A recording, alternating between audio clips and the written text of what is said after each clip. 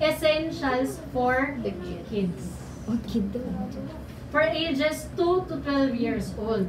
Mentor, paano po kapag ka matanda, hindi nakakalunok, pwede kayang dikdikin yung essentials?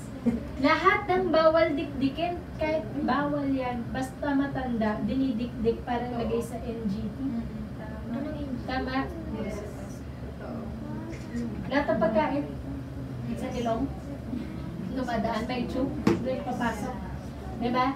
So, kahit bawal, dinidikdik. Pero, ito yun.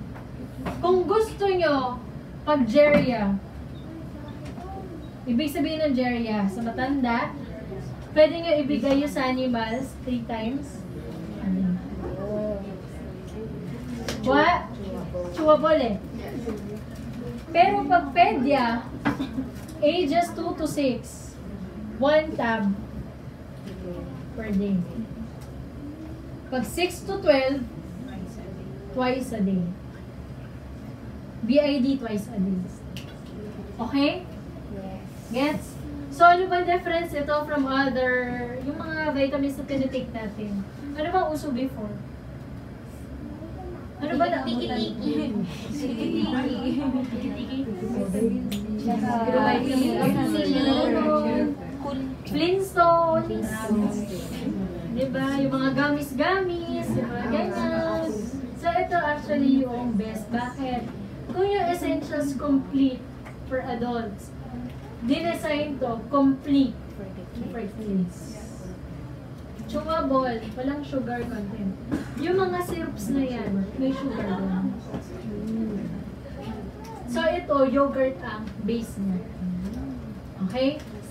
So, ito na naman, lahat yan, plus may iron. Bakit yung pang matanda, walang iron? Bakit ito, meron? Okay? Bakit? Kasi ang bata mapili sa pagkain. Ang matanda, walang pinipili.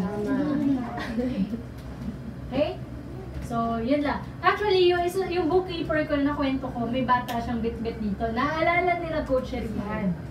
Kasi every time na pupunta yan dito, laging may green talagang lumalabas. Oh my God.